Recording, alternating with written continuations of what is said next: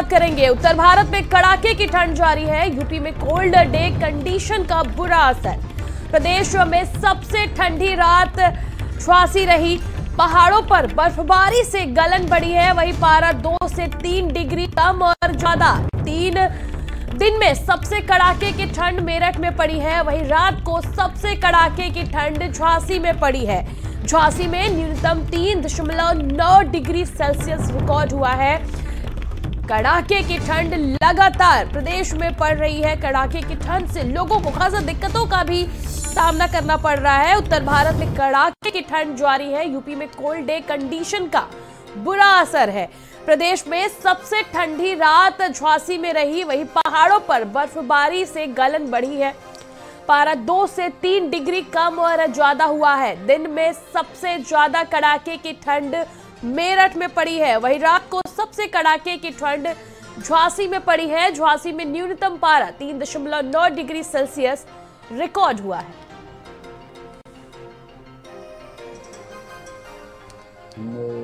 जो रद्द किया गया है कोहरे के लिए, उसके लिए जो प्री प्लानिंग होती है तो जो ट्रेनें रद्द की गई थी, उसके लिए फरवरी में अधिसूचना जारी कर दी गई थी। तो हमारे जो डिवीज़न से हैं तो जो झांसी से कोलकाता जाती है वो कैंसिल है और कुछ ट्रेनों के फेरे कम किए गए हैं, जैसे ये जो ग्वालियर से बरौनी मेल है, उसके फेरे कम किए गए हैं। इसी प्रकार से कई सारी गाड़ियाँ हैं जिनको इस जो गौरी के सीज़न को ध्यान में रखते हुए उनके और जो रेल का जो उनका संचालन है, उसमें या तो आपूर्ति में कमी गई हुई है, और किसी को कैंसिल किया गया है। राजधानी लखनऊ में कड़ाके की ठंड ने लोगों को परेशान कर रखा है। जिस तरीके से लगातार शीत लहर चल रही है, उसी के चलते लोग अपने आप को बचाने के लिए कहीं न कहीं से अलाव सेकने का काम कर रहे हैं। और आप देख सकते हैं, इस समय हम केसरबाग इलाके में मौजूद हैं। लगातार यहाँ पर तमाम लोग हैं जो ठंड से बचने के लिए आग जला रहे हैं। और कहीं ना कहीं से नगर निगम के जो दावे होते हैं कि हर चौराहे पर अलाव रखे गए हैं इस तरीके की व्यवस्थाएँ कितनी सही हैं इसको जानने के लिए भी लोगों से बातचीत कर लेते हैं। सबसे पहले भैया ये बताइए ठंडक बहुत ज़्यादा पड़ रही क्या करते हैं? ठंडक पड़ रही है भैया। तो लग रहा है कि आपको जो पिछली बार के सारे रिकॉर्ड थे वो टूट चुके हैं इस बार। हाँ वो तो टूट चुके हैं। क्या करते हैं ठंड से बचाव के लिए? यही अलाव तापते हैं। चाय पीते होंगे बस चाय पीते हैं अलाव तापते अच्छा भैया ये बताइए आप क्या करते हैं? सर हम भी आप आग तापते हैं सर क्या करें? नहीं, काम क्या करते हैं? सर हम तो बनारसी टेंट हाउस में हैं। अच्छा और ये बताइए कि लगातार ठंडक जो है बहुत ज़्यादा पड़ रही है कैसे देखते हैं इसको भैया? सर ऐसे बिता रहे हैं क्या करें? कुछ यहाँ पे नगर निगम ने अलाव अलाव भैया रखवाया है कि नहीं रखवाया? नहीं सर नहीं सर कुछ नहीं रखवाया। अब देखने वाली बात ये होगी कि इसको देखने के बाद नगर निगम के अधिकारी लापरवाह अधिकारियों पर किस तरीके की कार्रवाई करते हैं। लखनऊ से वीडियो जर्नलिस्ट दुर्गेश के साथ संदीप खेर भारत समाचार। बीते एक सप्ताह से लगातार ठंड का प्रकोप देखने को मिल रहा है। आपको बता दें कि जहाँ एक तरफ़ शीतलहर व ठिठुर भरी ठंड से दो चार होना पड़ रहा है, वहीं कोहरे की चादर से राहगीरों को भी आवागमन में काफ़ी दिक्कतों का सामना करना पड़ रहा है। हम इस समय रायबरेली के रायबरेली सुल्तानपुर राजमार्ग स्थित ओवरब्रिज के पास मौजूद हैं। यहाँ की तस्वीरें आप देख सकते हैं किस तरह से कोहरे की चादरों से, जो है, आसमान पटा पड़ा हुआ है। विजुअलिटी इतनी ना के बराबर है कि लोगों को भी दिक्कतों का सामना करना पड़ रहा है। आपको बता दें कि जहाँ अभी तक, आपको बता दें ठंड को देखते हुए कक्षा एक से लेकर आठ तक के सभी विद्यालयों में अवकाश घोषित कर दिया गया था। वहीं बीती रात भीषण ठंड को देखते हुए कक्षा नौ से लेकर बारह तक के सभी विद्यालयों को बंद करने का आदेश जिलाधिकारी माला श्रीवास्तव द्वारा दिया गया है। रायबरेली में अगर पारे की बात की तो चार डिग्री के आसपास ये पारा जो है, पहुँच चुका है। कहीं न कहीं ठंड से लोगों को काफ़ी दिक्कतों का सामना करना पड़ रहा है। इधर की तस्वीरें दिखाएँगे। दिन का समय है। किस तरह से कोहरे की चादर से जो है, आसमान पटा पड़ा हुआ आसपास कुछ दिखा देखने में आप देख सकते हैं, कुछ दिखाई नहीं पड़ रहा है। किस तरह से वाहन सड़कों पर रेंगते हुए नज़र आ रहे हैं, ये बताने के लिए काफ़ी जो वाहन सड़कों पर चल रहे हैं, वो फाग लगाकर ही जो है वाहनों पर चल पा रहे हैं। वाहनों की रफ्तार ना के बराबर हो चुकी है, क्योंकि लगातार ये ठंड का पारा बढ़ता हुआ जा रहा है और कोहरे की चादर भी देखने को मिल रही है। कहीं ना कहीं आम जनजीवन भीषण ठंड में अस्त व्यस्त होता हुआ दिखाई दे रहा है। रोहित मिश्रा, भारत समाचार, रायबरेली।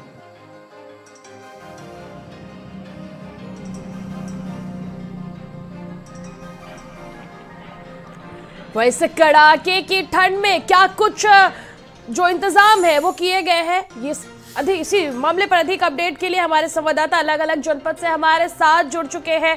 संदीप खेर लखनऊ से हमारे साथ जुड़ चुके हैं। विनीत श्रीवास्तव वाराणसी से हमारे साथ जुड़े हैं। रोहित मिश्रा रायबरेली से जुड़े विनीत, किस प्रकार के इंतज़ाम वाराणसी में किए गए प्रशासन के द्वारा किस प्रकार से अलाव रन बसेरों की व्यवस्था की गई है, ताकि लोगों को ठंड के प्रकोप से बचाया जा सके? विनीत। तीखे तेवर दिखाने शुरू कर दिए हालाँकि इसको लेकर के जिला प्रशासन ने पूरी तैयारी की है। जगह जगह चौराहे पर अलाव की व्यवस्थाएँ की गई है। ठंड से बचने के लिए लोग अलाव का सहारा ले, ले, रहे हैं। इसके अलावा जो रैन बसेरों हैं उनमें जो है अच्छी व्यवस्थाएँ की गई है ताकि जो सड़क पर रहने वाले लोग हैं उनको ठंड से बचाया जा सके। वो लोग उसमें अपना शरण ले रहे हैं। इसके अलावा ठंड का असर जो है यात्रियों पर भी खासा देखने को मिल रहा है, क्योंकि जो लगातार जो ट्रेनें हैं, वो लेट होती जा रही हैं। विमान पर भी खासा असर देखने को मिल रहा है।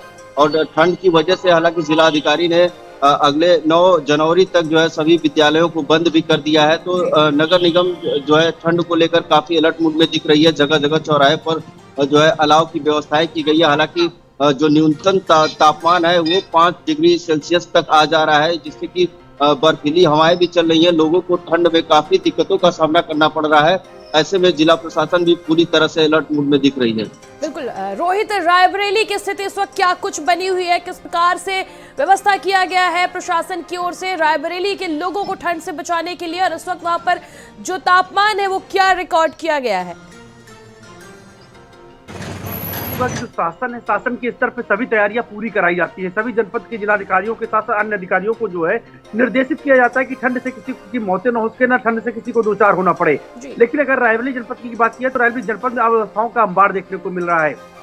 अलाव की बात किया तो सड़कों पर अलाव नहीं देखने को मिलते हैं। यहाँ तक कि जो कलेक्टर परिसर होता है यहाँ पर जो आला अधिकारी जिलाधिकारी के साथ साथ जो है अन्य आला अधिकारी बैठते हैं वहाँ पर भी अलाव के प्रबंध नहीं किए जाते हैं। अगर रैन बसोर की बात करें तो रैन बसोरों में भी अव्यवस्थाओं का अंबार देखने को मिला। कहीं ना कहीं जो रायबरेली में ठंड को लेकर जो है जिला प्रशासन पूरी तरह से लापरवाही कर रहा है। वो चाहे नगर पालिका की बात की जाए फिर नगर पंचायतों की बात की जाए पॉइंट तो निर्धारित कर दिए गए कि यहाँ पर अलाव जलाए जाएँगे। लेकिन अगर ग्राउंड ज़ीरो की बात की तो अलाव शायद ही कहीं पर जलता हुआ दिखाई दे। वहीं अगर छुट्टियों की बात की जाए तो जब माध्यमिक विद्यालय की जो शिक्षक है उन, उनके द्वारा जो है ज्ञापन दिया जाता है उसके बाद जिलाधिकारी जो है अवकाश की बात करती है और बीती रात जो है चार नौ से लेकर बारह तक के विद्यालयों को जो है सात जनवरी तक बंद किया जाता है। तो कहीं कहीं रायबरेली में ठंड का प्रकोप काफ़ी देखने को मिल रहा है। अगर पारे की बात करें तो लगभग चार से पाँच डिग्री पारा यहाँ पे रायबरेली में ठंड का है। ठंड से लोगों को दो चार होना पड़ है। सबसे ज़्यादा दिक्कतें उन राहगीरों को होती है, सबसे ज़्यादा दिक्कतें उन मजदूरों को होती है, जो डेली रोज़मर्रा के कमाने खाने वाले लोग होते हैं। उनको घर से मजबूरी में निकलना होता है क्योंकि अपने परिवार का भरण पोषण करना होता है। तो कहीं ना कहीं सबसे ज़्यादा दिक्कतें राहगीर व जो है, जो जो निचले तबके के लोग हैं, उनको सबसे ज़्यादा दो चार होना पड़ रहा है, क्योंकि वो उनको सड़कों पर अगर वो नहीं निकलेंगे, अपना काम काज नहीं करेंगे तो वो साफ़ तो उनके घर के भोजन जो बनना मुश्किल हो जाएगा।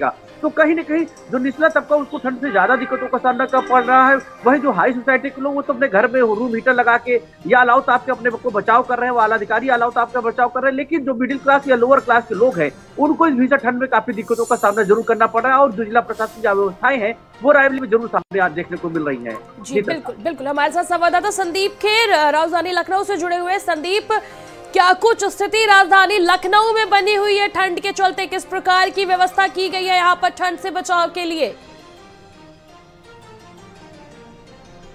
संदीप। त्रिशला राजधानी लखनऊ की अगर बात करी जाए तो बिल्कुल त्रिशला देखिए, अगर लखनऊ की हम बात करते हैं तो एक तारीख से लेकर यानी आज तक की बात करें तो लगातार जो ठंड का सितम है वो बढ़ता जा रहा है। जिस तरीके से शीतलहर और जिस तरीके से गलन भरी ठंड पड़ रही है धुंध की वजहों से सड़कों पर लोगों ने निकलना कम कर दिया है और उसी के साथ साथ कहीं ना कहीं से लोगों को तमाम तरीके की दिक्कतों का सामना करना पड़ रहा है। ये भी देखा जाता है कि विजिबिलिटी कम होने की वजह से जो हादसों की संख्या होती है, वो बेहद ही ज़्यादा बढ़ जाती है। अब देखिए, अगर हम व्यवस्थाओं पर आ जाते हैं तो रैन बसेरों की तो देखिए, जो व्यवस्था है, वो राजधानी लखनऊ में की गई है खुद। जिला प्रशासन की तरफ़ से खुद नगर विकास मंत्री ए के शर्मा खुद मुआयना करते हैं, वहाँ पर पहुँचते हैं और उसी के साथ साथ वहाँ के लोगों से मिलकर उनकी तमाम व्यवस्थाओं का जायजा भी लेते हैं। लेकिन अगर देखिए चौराहों पर अलाव की व्यवस्था की बात करी जाए, क्योंकि अलाव की जो व्यवस्था होती है वो पर्टिकुलर किसी एक के लिए नहीं, सभी लोगों के लिए होती है। लेकिन जब राजधानी लखनऊ में निकलते हैं तो चौराहों पर कहीं पर भी अलाव जलते हुए नहीं दिखाई देते। लोग कूड़े से या फिर तमाम इधर उधर से लकड़ियों को इकट्ठा करके आग सेकने का काम करें हालाँकि कूड़े से कहीं ना कहीं से प्रदूषण भी फैलता है। लेकिन देखिए, ठंड लगातार बढ़ती जा रही है। सूरज कल थोड़ी देर के लिए निकले, उसके बाद फिर से आज का जो दिन है, वो जिस तरीके से लगातार कोहरा है। त्रिशला मेरे पीछे की तस्वीर भी आप देख सकती हैं कि किस तरीके से लगातार देखिए सड़क पर जो है वो सन्नाटा नज़र आ रहा है क्योंकि ये वो सड़क है जो कह सकते हैं कि लगातार यहाँ पर आवागमन चालू रहता है लेकिन इस समय सड़क पर सन्नाटा नज़र आ रहा है क्यों? क्योंकि लोग अपने घरों से बेहद ही कम निकल रहे हैं ठंड की वजह से। बच्चों को दिक्कतें हो रही हैं हल्की स्कूलों के समय में बदलाव कर दिया गया है छुट्टी कर दी गई है टीचर्स जो है वो कहीं ना कहीं से उनके समय बद लेकिन ठंड जिस तरीके से देखिए लगातार बढ़ती जा रही है उससे बुज़ुर्ग परेशान हो रहे हैं जानवर परेशान हो रहे हैं। क्यों? क्योंकि जानवरों के लिए देखिए इस तरीके की कोई व्यवस्था नहीं करी जाती। है खुले आसमान के नीचे उनको रहना पड़ता है। वो चाहे सड़क के जानवर हो वो फिर चाहे वो अगर बात करी जाए लोगों ने उनको अपने घर में पाला संदीप हम आपके तो पास आएँगे बिल्कुल संदीप हम आपके पास लौटेंगे और अपडेट के लिए हमारे साथ संवाददाता एस एस झा झांसी से जुड़ चुके हैं। एस झांसी में क्या कुछ स्थिति बनी हुई है ठंड के चलते?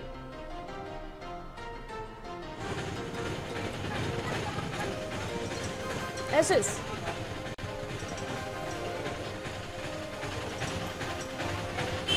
देखिए, झांसी की बात करें तो झांसी में कड़ाके की सर्दी पड़ रही है। झांसी के पारे की बात करें तो अभी पाँच डिग्री सेल्सियस चल रहा है। लेकिन लगातार ठंड बढ़ रही है, प्रशासन की बात करते हो प्रशासन के यहाँ पर ढीला रवैया देखा जा रहा है। नगर निगम की बात करें तो मेन चौराहे पर अलाव जल रहे हैं। तमाम ऐसे चौराहे जहाँ पर अलाव नहीं जल रहे, गरीब लोगों को कम्बल ही बांटे गए लोग सड़कों पर रात में खुले आसमान के सोते नज़र आते हैं। लेकिन प्रशासन की बात करें तो प्रशासन ने इन गरीबों लोगों को कम्बल भी वितरण नहीं किया।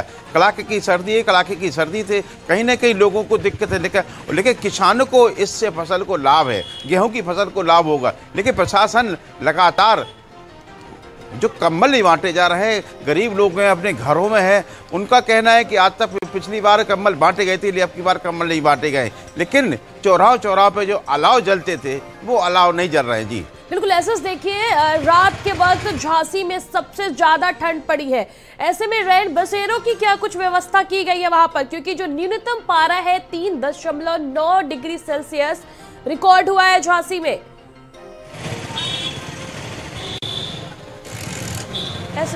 देखिए, झांसी की बात करें तो झांसी में बिल्कुल सही है कि रात्रि में तीन डिग्री सेल्सियस पारा चला गया था। अभी मौजूदा में पाँच चल रहा है, कड़ाके की सर्दी है। रैन बसेरों की बात करें तो रैन बसेरों में जो कम्बल हैं, वहाँ के जो रजाई गद्दे हैं, बदबूदार हैं। तमाम जो महिलाएँ हैं, रात में जब रियलिटी चेक किया, भारत समाचार की टीम ने, तब महिलाओं ने बताया कि रैन बसेरे में हम लोग नहीं जा पाते हैं। वहाँ पर बड़ी दिक्कत आती है, वहाँ पर शराबी लोग पहुँच जाते हैं।